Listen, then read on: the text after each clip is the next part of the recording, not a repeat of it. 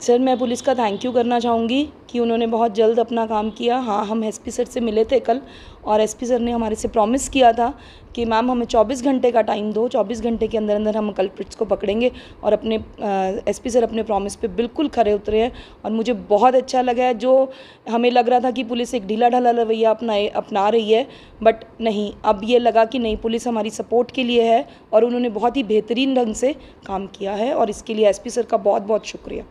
क्या लगता है क्या वो वजह सामने आई है कि क्यों उन्होंने ऐसा किया है? Uh, नहीं अभी कोई वजह प्रॉपरली सामने नहीं आई है क्योंकि अभी शाम को ही मैसेज आया है पुलिस वालों का कि मैसेज आया नहीं रादर मैंने उनसे अपडेट ली थी फ़ोन करके कि हमें ये ऐसा पता लगा है कि वो पकड़े गए हैं।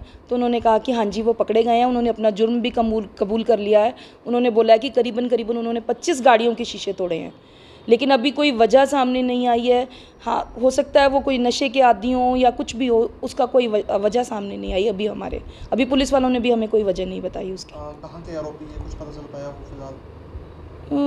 नहीं सुनने में ही आया है जो पुलिस वालों से बात नहीं हुई है बट जो आस पड़ोस बता रहे हैं वो ये कह रहे हैं कि शायद मेला ग्राउंड बेगू रोड के हैं वो लड़के। जब एसपी साहब साहब मिले थे, किस तरह का उनका फीडबैक रहा था? रिस्पांस क्या रहा था बहुत ही अच्छा बहुत ही अच्छा रिस्पांस था। मतलब हम उम्मीद नहीं कर सकते कि शहर का कप्तान इतना अच्छा रिस्पांस देगा। मैं अकेली गई थी, मेरे एनिमल शेल्टर का एक लड़का प्रेसिडेंट है, जसपाल, वो मेरे साथ गया था। हम दोनों ही गए थे बट सर ने बहुत अच्छे से रिस्पॉन्स दिया। उसी time S H O city को फ़ोन किया। उसी टाइम सी आई ए में है इंस्पेक्टर प्रदीप, उनको फ़ोन किया। मतलब तभी हमें लग गया था कि हाँ शायद हमारे केस में अब कुछ हो जाएगा पर एसपी साहब ने कहा कि 24 घंटे का टाइम दो 24 घंटे के अंदर अंदर हम उनको पकड़ लेंगे और उन्होंने अपना प्रॉमिस पूरा किया। हम तहे दिल से उनका शुक्रिया करते हैं इस बात को लेकर आपको क्या लगता है गाड़ी टूटने की वजह क्या हुई? सनकी किस्म के लोग हैं या क्या है? अगर देखा जाए तो क्या सनकी ही? होंगे गाड़ियाँ तोड़ के उनको क्या मिला? कुछ भी नहीं।